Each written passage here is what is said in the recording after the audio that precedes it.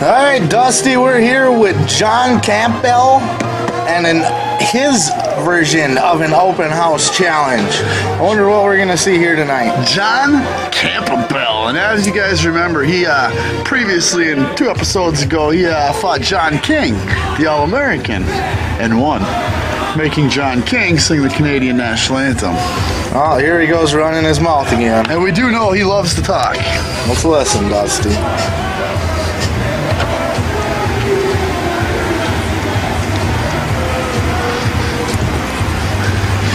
Seems to be getting the same negative reaction. Yeah, nobody really likes this guy, Dusty. He's uh, Maybe it's just because he flaunts his Canadian Canadianship. he's not winning them over. I'll say that. I don't think he's trying to, granted, but Definitely an overinflated ego. with his fake mink shirt jacket, which could be real, It could be chinchilla. chinchilla. That means it's full of dust. Does it? I don't know if the shirt would be, but chinchillas sure as hell are. They take dust baths. I did not know that. Yeah, Dusty. fuck having one of them things. You got a dust bath for it. Stupid little things. You know how many chinchillas it would take to make a jacket? Five. Five? Yep. Campbell demanding silence. Maybe we should shut up. Never.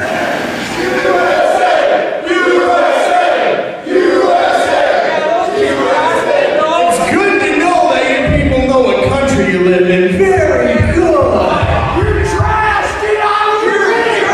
You're Now I'm gonna make this short and to the point, and I'll even talk a little slow so you Yoopers can understand me. See, he's proud of being Canadian, but rips on Yoopers. That doesn't make much sense. I am not done for the night.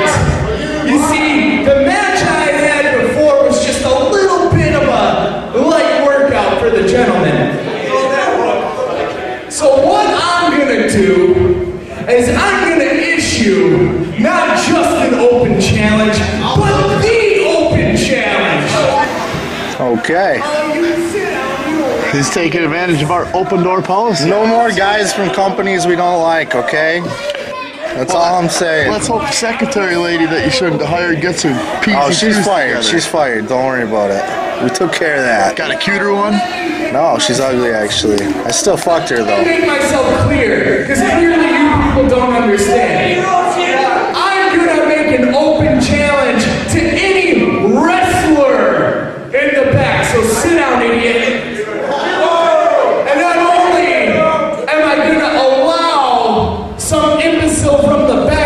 Out here and get the privilege to wrestle me, but I'm even gonna put up my Canadian National Heritage Championship for the first time ever in Pro Wrestling Revolution. What? So bring me a referee. Bring me a Okay. So he's just. I'll allow it. I mean, if he wants to put it on the line, but it's not sanctioned. I mean, I'm not gonna. It is not a PWR belt, folks. I'm not gonna call this a title match, but if he wants to put it on the line, he's more than welcome. I mean, if he wants to put his house on the line, he can do it. What I do give him credit for is it seems like he likes. He's a better. He's a gambler. Last time it was sing my anthem, I'll sing yours. This time it's my belt. At least He does like to raise the stakes, doesn't At he? least he's willing to put something on the line. I'll give him a Oh little bit of credit for I'll that. give you that. He'd probably be bad at a horse race, though. He'd probably lose everything he has. I'll give him credit. Referee on his way out, I'd have to say, Sheep, He's trying to get the referee to kick out the this will be the the first crowd. event of PWR. I will say the refs have been done doing a pretty good job. Well, we hired this new ref here, and then the other referee, TJ, he's our senior official, And so he's, he's, always jumping off top ropes. yeah, he's always been doing good, and he got a raise after our last event. That was just insane.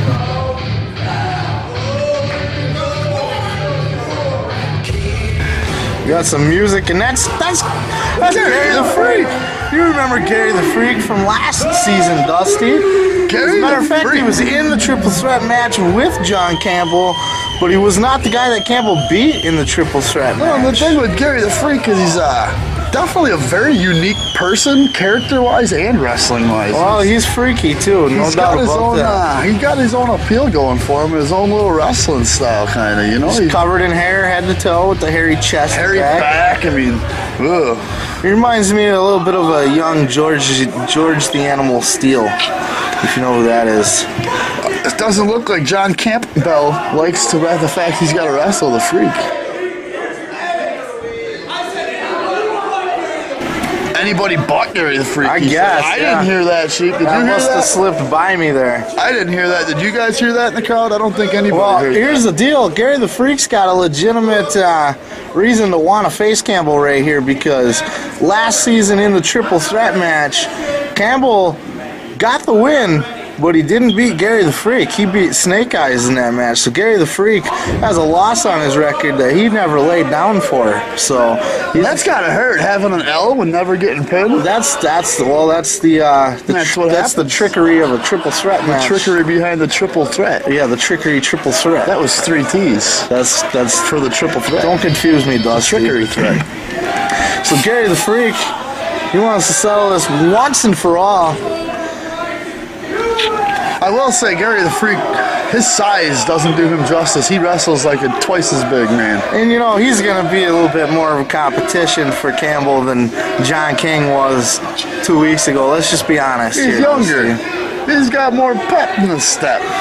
He's got less flab in his arms. He's more unorthodox too, Dusty. I mean, And like I've he's said got a very weird offensive John King style. can get it done. Don't let us try. We're not trying to knock John King, but it is what it is. He fought in the war, Dusty. He, it, he, it is exactly.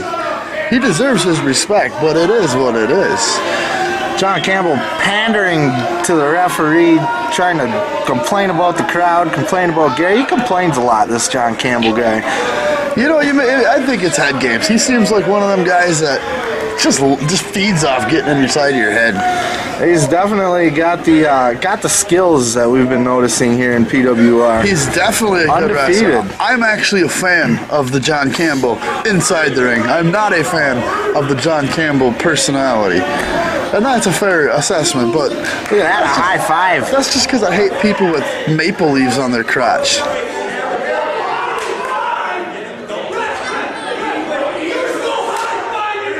There's no high fiving in wrestling, John Campbell says. Yes, there sure is. Every time you got a tag a tag team in. Yeah.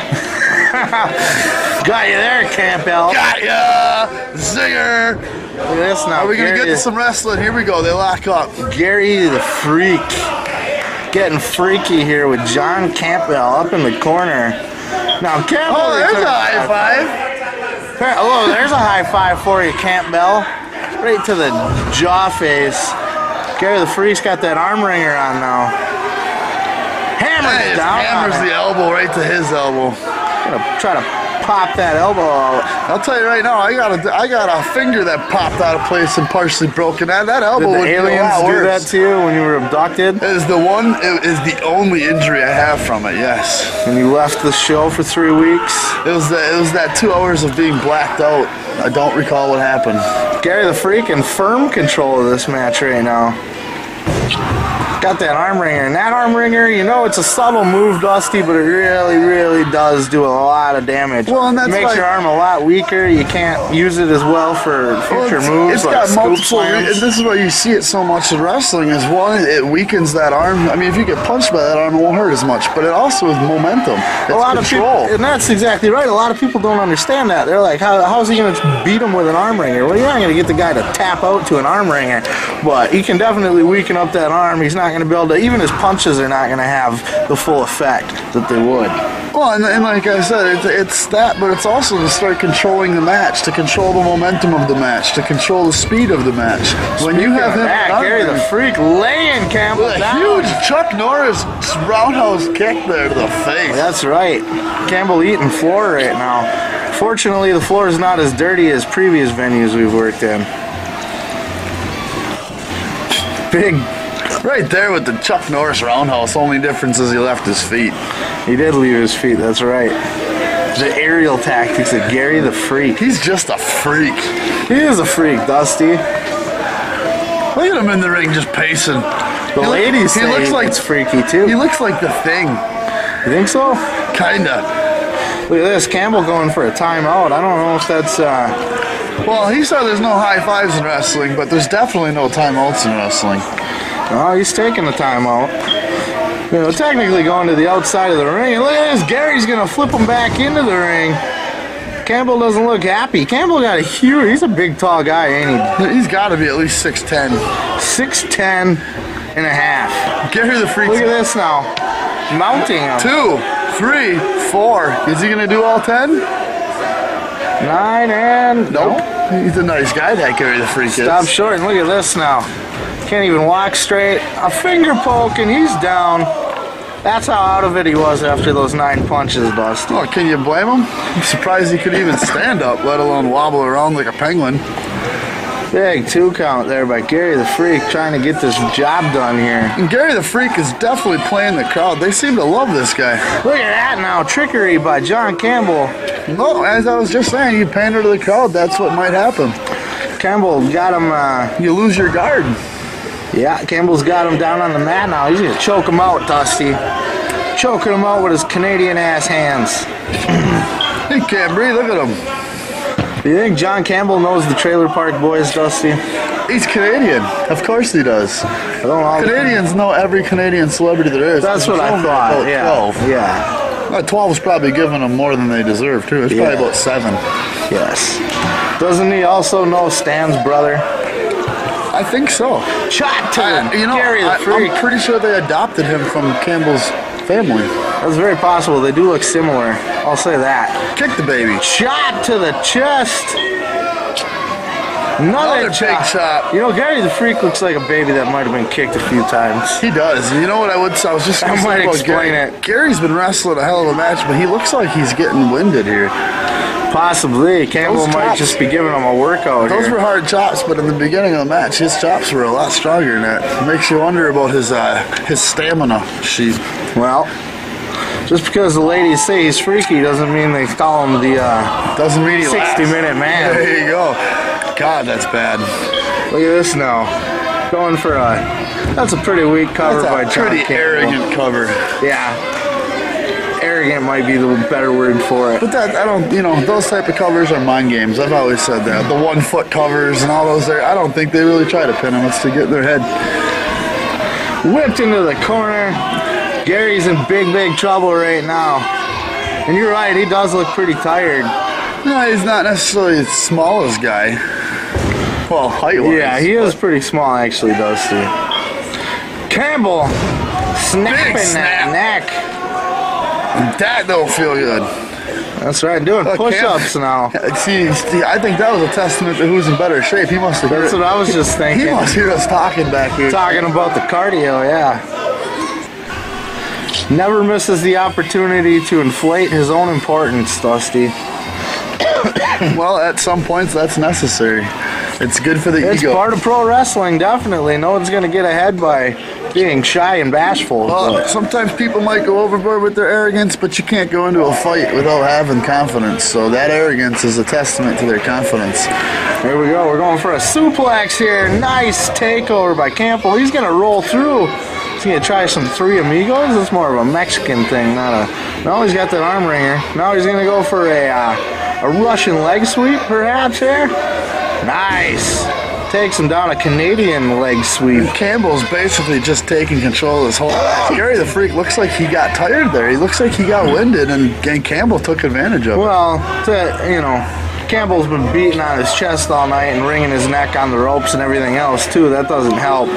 Not at all. Going for a fist drop And you know what I've always found interesting is the fact he's got sideburns, a to goatee, and everything Nope. else on a He- bald head. He caught the boot. Look at that now. He punched the mat. What did he do that for? Those think are he broke his hand. Gary the Freak with the roll up. two count He gets only. the two. I'll tell you what, this has been a nice back and forth match as you see Campbell with the clothesline takedown. Well, Look at this a- maneuver now. He's pulling the head forward while driving the knee into the chin in the jaw. And I don't know if you noticed the little sneaky. Uh, as he let go of that, he kneed him in the nose. Yeah, tactics, You know, I don't think most people seen that, but there was a knee Those are those are those dirty tricks that you can sneak into a match. Gary the Freak with another roll up. Look at that now. This Little could be loose. it. He ain't gonna Nope. get that. Nope. Didn't have it all the way there, Dusty. There. Nice double clothesline. I think they're both down there now, sheep there. Hey now, You're a Yooper too there, but I gotta point it out. we are from the UP. Okay then, you betcha. We're not quite Canada though, Dusty. You betcha, Gary Campbell. John Campbell. Campbell. Camp Bell. Gary the Freak with a little face poke. Yeah, Gary, what do you expect when Campbell's all wobbly like that? Gary the Freak had a little fun. Well, Campbell was able to turn it around here, as you see the. Uh, that's the thing, Sheep, is Gary the Freak was having fun with it and having fun with the crowd while he was ahead. Gave Campbell the, t- the ability to turn it around now. that's right. There's no time for having fun in pro wrestling. No. There's no crying in, in, in softball. That's right. Referee now, he's got the 10 count going. If neither one of these guys can reach their feet before a 10 count, it's going to be a double DQ. And I don't want to see that, but if I do, you know, that's a testament to two guys that just wrestled their hearts out if it does happen. Seven count now. It's getting close, folks. Next week, we got that big tag team match. As you see a cover Gary here. the Freak turn. Oh, he Two almost gets holy. it. And Gary the Freak has gotten quite a few two, two and a half counts here in the last couple minutes. Yeah, oh, that definitely. Gary the Freak is impressing the hell out of me here tonight. Freakishly. Big blow. Another big blow. They're exchanging some very hard shots to the face. Gary takes the upper hand of that one. Goes to whip him into the ropes, reversed, misses the clothesline, kick to the gut, picks him up, backpack stunner, Oh! Dusty. That's like the Stone Cold Stunner with a little And bit that of could be stank it. on it. One, two, three. He's got his But foot on the rope and his hand on the rope, but the three count came in. That does not referee count. counted the three, but Campbell's got his foot on the ropes. Gary the Freak thinks he won, but there's no bell. What's going on, folks? Did he get it or not? Gary the referee Freak has is- never signaled. Gary's got the bell. the ref has not he signaled the win. he won it, Dusty.